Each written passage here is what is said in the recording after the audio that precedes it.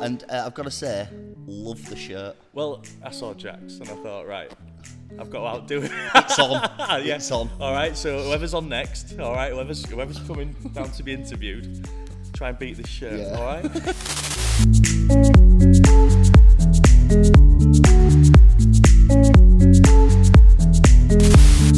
Hi, it's Johnny from Isaac, and we are in the treehouse again for another episode of Isaac Chats. And today, guys, we have a very special episode because we are with my friend, agent, and acting coach, Matt Zina. Matt Zina.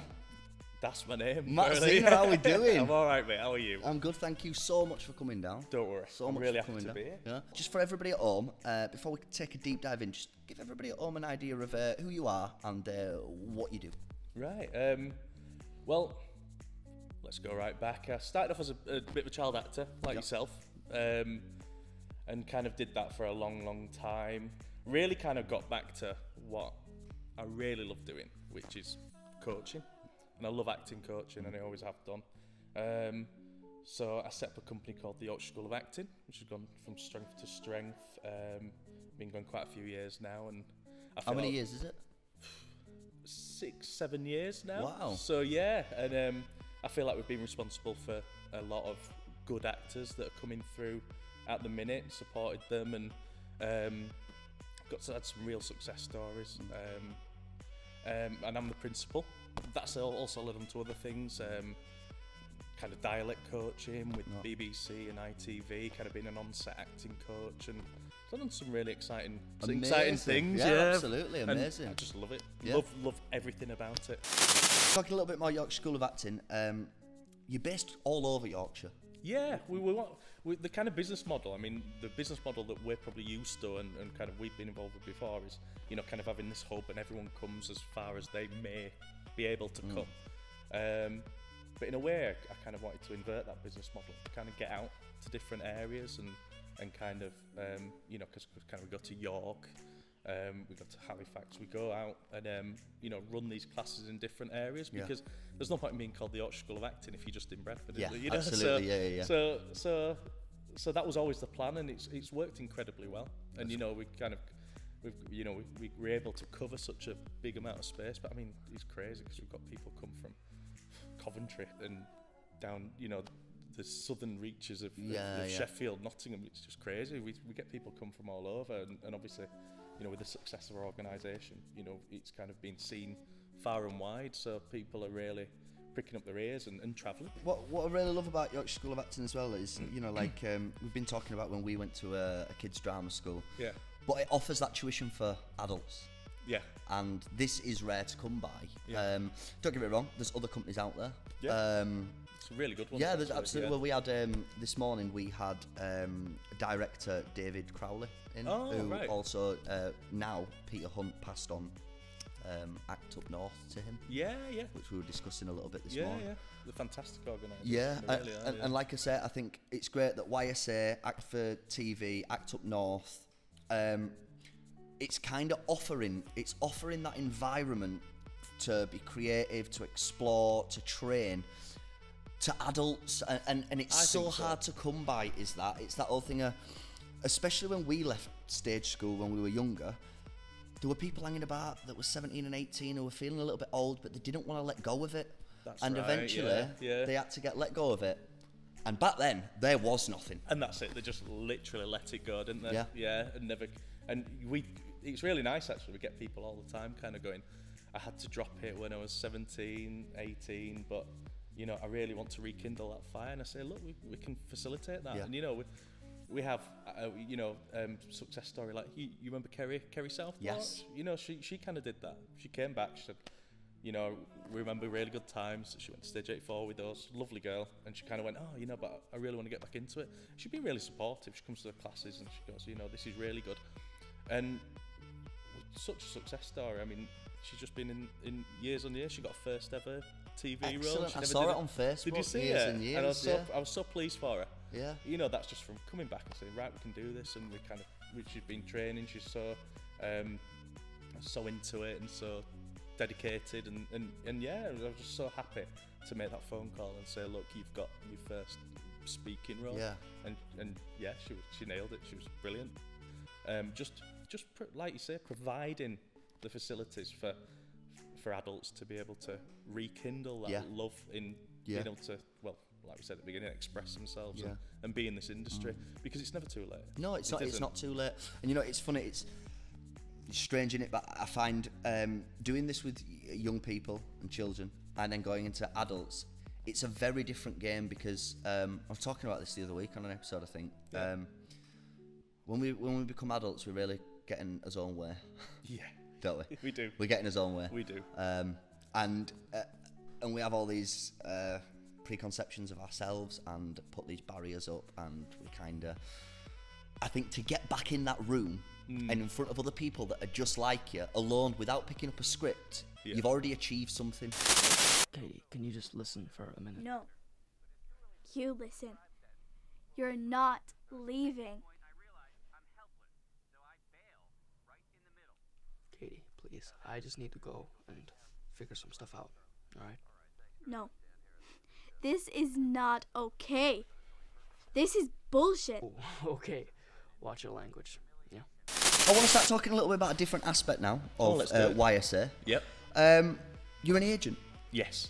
So I know there's going to be loads of people that are watching. Uh, there's going to be some of your students that are asking these questions. Like, Hmm? it's always been a big, big question mark in my mind. The whole agents world, you Oh, know. right, yeah. Um, I mean, first of all, how did, how did you find that transition of going from principal to now representing these actors on a professional front to casting directors and, and companies? It's a, the thing is, it's a natural progression. It's organic, obviously.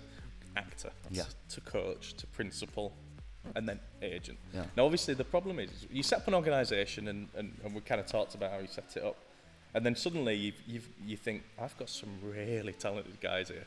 Yeah. So the natural progression is like, look, I'm gonna, I'm gonna really have to fire them out in, into the into the industry. So, you know, becoming agents, obviously the practicalities of it, you know, setting up a, um, with Spotlight and kind of set up a, a deal with casting networks because they kind of came into the country around the same time so that we could have free profiles for the actors. All very supportive. Spotlight and casting networks are incredibly supportive. Um, but as you will know, um, when you, you know, I was an actor for about 20 years doing plugging away, you know, all sorts of stuff and you've seen a lot of these casting directors, you know, and there's that. Yeah. There is that kind of like, remember me? Yeah, You yeah, know? yeah. I'm an agent now. They're either, oh no, oh, yeah, yeah, yeah. but yeah.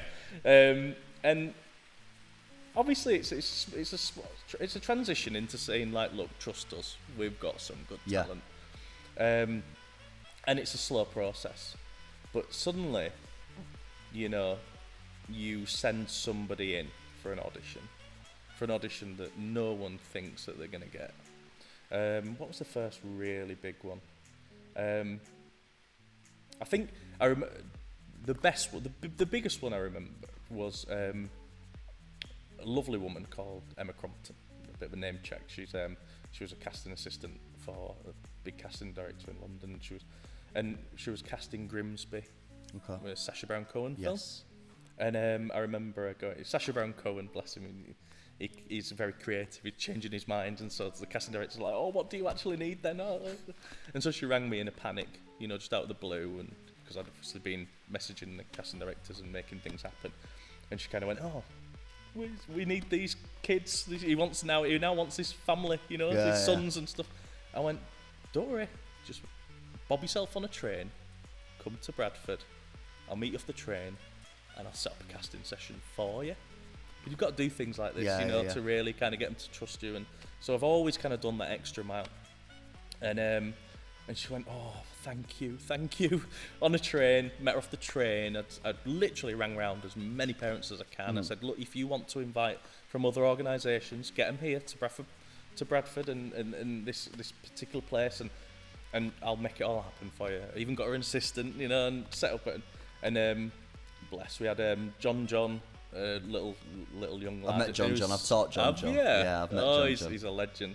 Uh, but he was seven at the time, seven or eight, and another lad called Gabriel who was uh, about the same age, Mm. and um, and a load load more.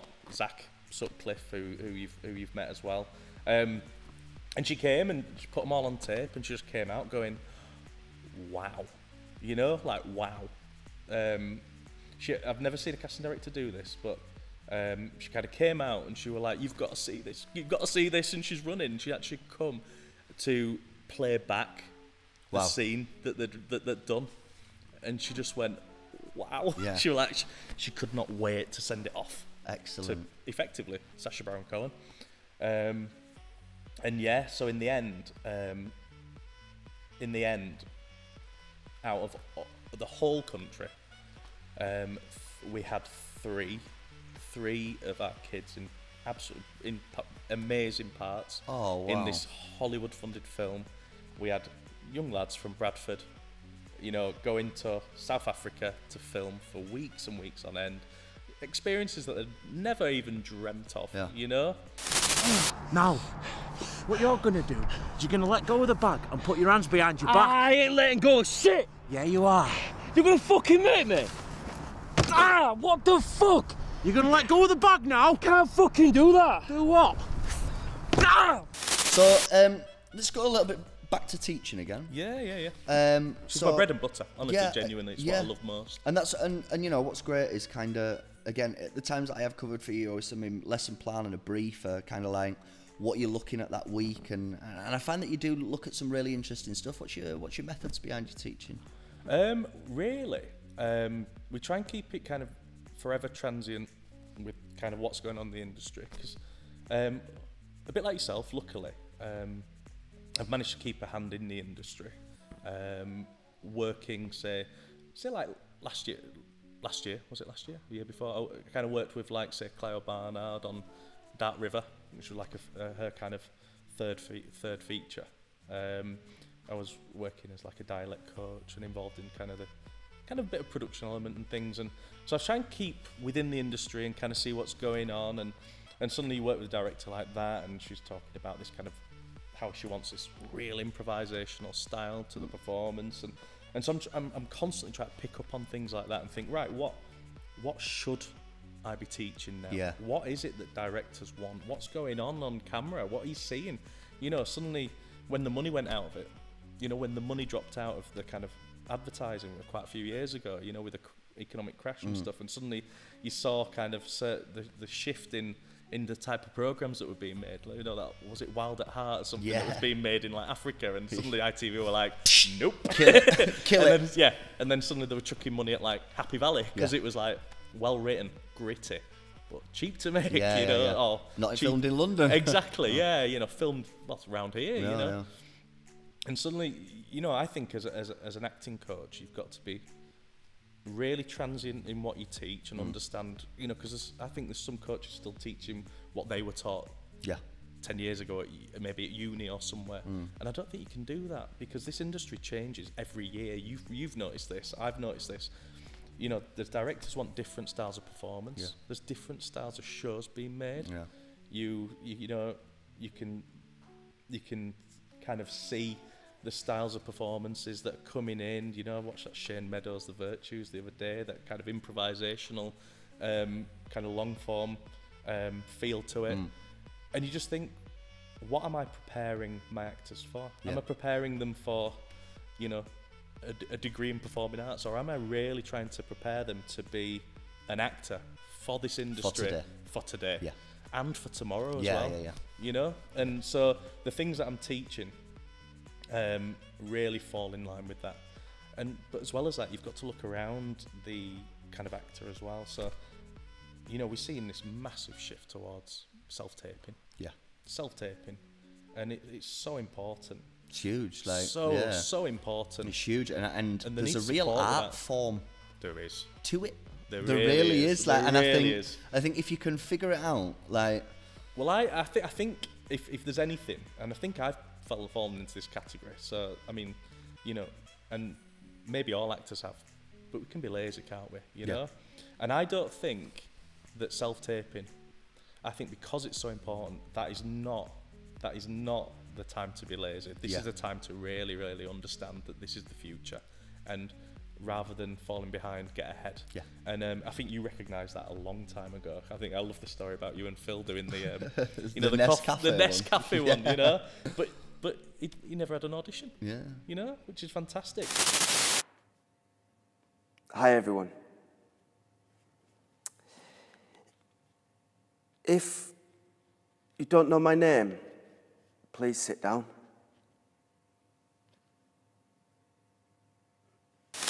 Kerry, who I was talking about earlier, our friend, and you know, she's just done a fantastic self tape. She literally did a music video, you know, and everyone's got everyone's got HD on the phone. Yeah.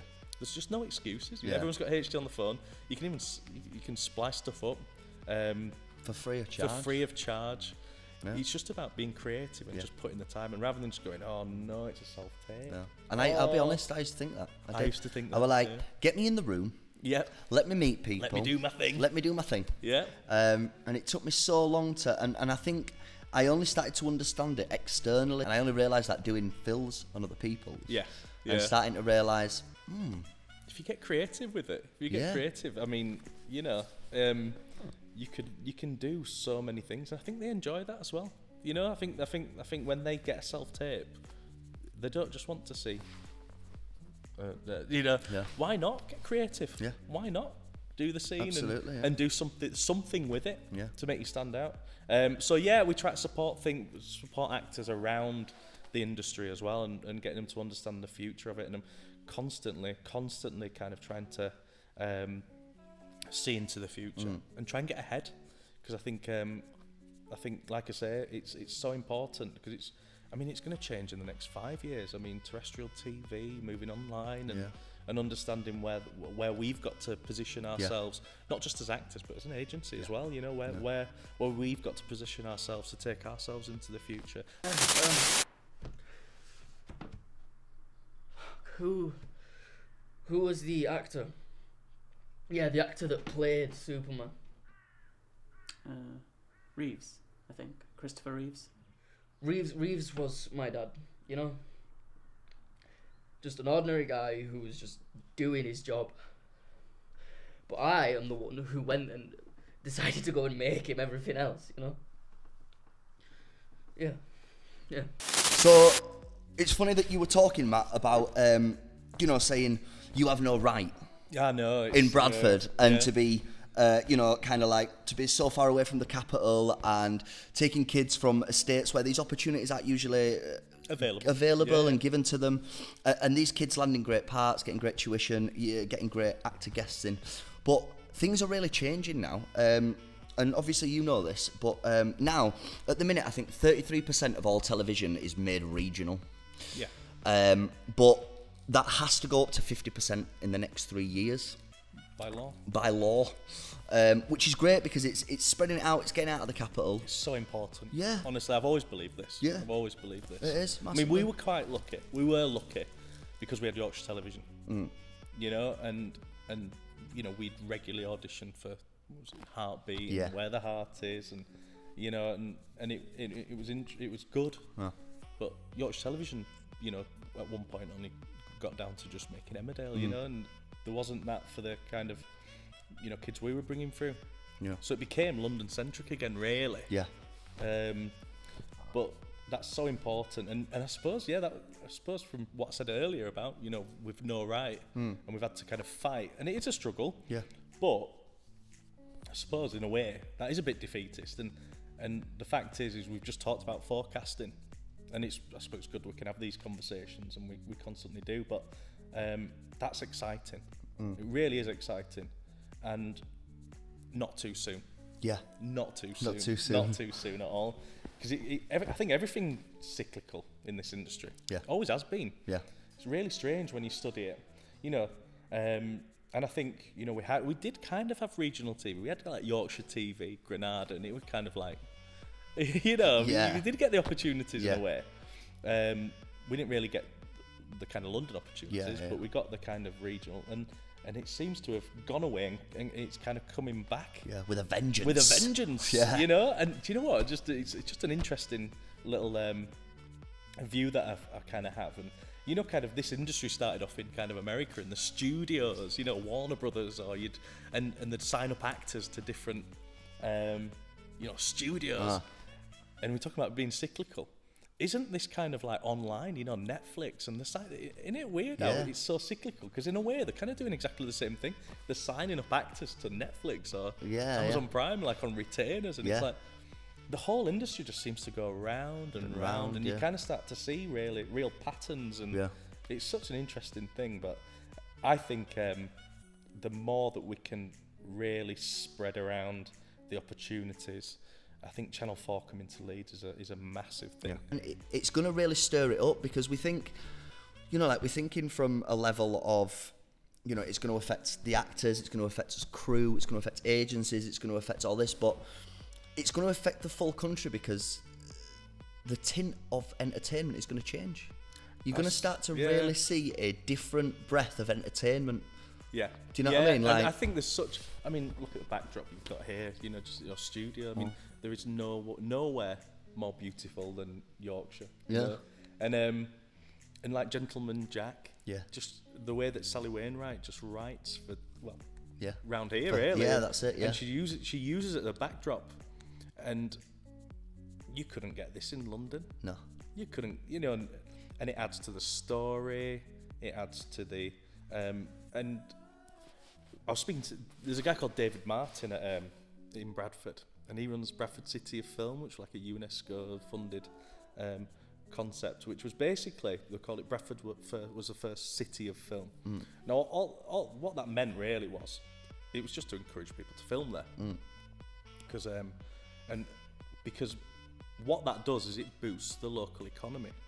So if you think about it, um, if s- somewhere comes to film in Bradford, they need catering, they need actors. You know the amount, you know the amount of um, people that say, look, we're looking for featured featured extras, or you know even roles and things like that. You know they'll they'll come to me because Bradford City Film will pass them on.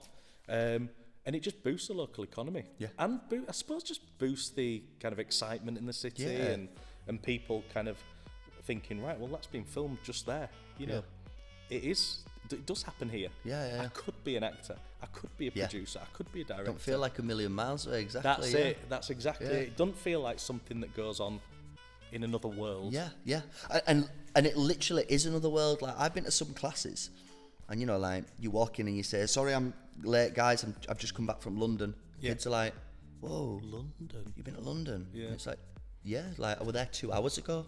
They've never been Yeah. A million miles away to them." Hmm. And it's that whole thing of, and again, I've, I've got no against London. Sounds like we just yeah, like, exactly. "And- and- I hate London. I, mean, I support Tottenham, but Yeah, well, yeah, that's it, yeah. but, but yeah, for Yeah, this industry, Yeah, that's what I mean. It's just, I I think it's just really nice to actors. share the wealth. that's exactly it. It's nice to share Are the we wealth. socialists underneath? Is that what it is? that's yeah. it, But it's true. It is true. Yeah. It's true because I suppose, you know, we've we've seen it from both angles. We've kind of been a frustrated northern actor, you know, Yeah. having to buy train tickets. Yeah, yeah. You know, ouch. Ouch, big time, Um, especially now. Exactly, and, and and I suppose in a way we've we've been a coach and and try to get people to you know to have aspirations and things like that, Mm. and and them thinking, well, it's London. Well, no, this this industry isn't just London. Yeah. Um, I think as well as that though, the problem, as another problem that's kind of arisen is is you you kind of suddenly it's like right okay let's make a production. Sally Wainwright don't do this, you know, but so I think other production companies do. It's like right let's make something gritty, cool, you know, gripping, hard hitting, and let's make it in Halifax or Bradford or you know Yeah. up north. And then what do they do? You know, parachute a load of actors in Yeah. from London, That's exactly and then it, get yeah. someone like me to teach them to do a Yorkshire accent. And you think, Yeah. you know, like act, you know, act, the acting needs to be spread around as well. Yeah, yeah, that'd what be I mean? nice. Yeah. yeah, Yeah, that'd be nice. You know what I mean? So, I suppose that's just. I suppose Rome isn't made in a day. Yeah. There's a, you know, there's a lot of, um, you know, we've. There's a lot of organic growth and, and kind of getting things to change, and it'll the wheels turning. Yeah. And um, And moving And fast, is exciting. yeah, It is- and it is yeah, it is moving fast. It's It like you said, these barriers are slowly getting broken down. Um, and opportunities are there. yeah, and, it it's could not be a more exciting time. I've, Yeah. I, I've I've heard people say that all my life since I've been a kid. you know, again, been been at stage as a young'un and telling your parents, you know, like there's never been a more exciting time, and it's been true because it has gone like that. But I feel in the last year, hmm. it's Yeah. had a really, really big influx. Definitely. No, I agree. It's, it is exciting. Matt, I think that's about it, mate. You have been absolutely amazing. It's been a really good I've chin really wag. enjoyed yeah, it. It's been really a really good chin it, wag. And it's always good to have a chat yeah, with you anyway. Absolutely. Yeah. I'm sure we'll. I'm sure we'll be doing things in the future. Always. Um, and you know, for the people at home, they can check out some of your clients who worked with us doing some show reels. I'm sure Definitely. we'll show some in between the interview. Yeah, do it. All right. I Thank love you it. so much, man. You're amazing. Cheers, Good Matt. fun. Spot Cheers. on. And that's it for another episode of Isaac Chats. If you want to check out more episodes just like this one, just head over to www.isaacwho.com.